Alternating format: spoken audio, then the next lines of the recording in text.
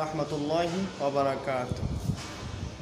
Bangladesh relief কমিটির পক্ষ থেকে আমি আপনাদেরকে জানাই আন্তরিক শুভেচ্ছা ও মুবারকবাদ। দেশ ও দেশের বাইরে যারা আমার ভিডিওটি দেখছেন, তাদেরকে জানাই সালাম এবং মুবারকবাদ।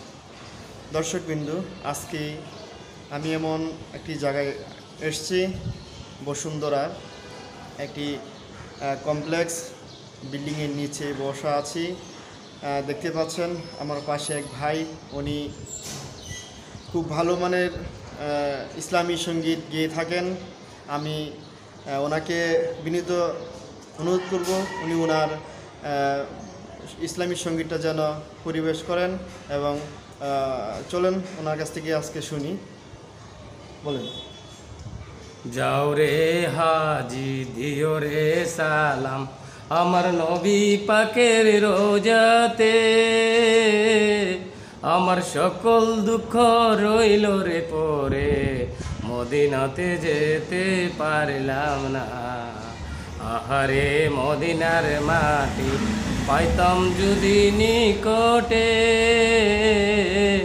দুহাত ভরি চুম্বন খাইতাম, বোঝাই দিতাম বুঝ মনটারে আহারে মদিনার মাটি, কত মানুষ যাই রে চলে। আমার নবী পাকের উচিলায় আমার সকল দুঃখ রইল রে পরে। মদিনাতে যেতে পারলাম আলহামদুলিল্লাহ, অত্যন্ত চমৎকারভাবে উনি আমাদের সামনে ইসলামী সংগীত পেশ করেছেন। আমি মনোমুগ্ধ হয়ে গেছি ওনার কণ্ঠে একটি হামতে নাথ ওনার কাছ থেকে শুনতে পেয়ে।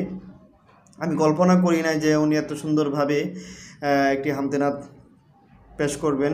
আমি ওনার জন্য দোয়া কামনা করছি এবং আল্লাহ তালা যেন ওনাকে দীর্ঘ হায়াত দান করেন এবং ওনার কণ্ঠকে আরও সুন্দর করে দেন। মহান আল্লাহ রবুল আলামিন প্রত্যেকটা মানুষকে বিভিন্ন দিক দিয়ে বিভিন্ন সাইড দিয়ে তাকে ডেভেলপ করে থাকেন। এই লোকটা একজন সিকিউরিটি গার্ডে চাকরি করেন। উনি অত্যন্ত খুব গরিব ফ্যামিলি সন্তান। ওনার ফ্যামিলির তাগিদায় উনি আজকে ঢাকা আসছেন। উনি একটি বাড়িতে একটি বাসার সিকিউরিটি গার্ড হিসাবে নিয়োজিত আছেন। আমি দোয়া করব যেন আল্লাহ তাআলা ওনার আয়ের ইনকামকে আরও বাড়িয়ে দেন এবং ওনাকে উত্তম রিজিকের ব্যবস্থা যেন আল্লাহ তাআলা করে দেন। আমরা সবাই ওনার জন্য দোয়া করব। আল্লাহ যেন ওনাকে আরও উত্তম রিজিক দান করেন। প্রত্যেকটা মানুষের আশা থাকে একটু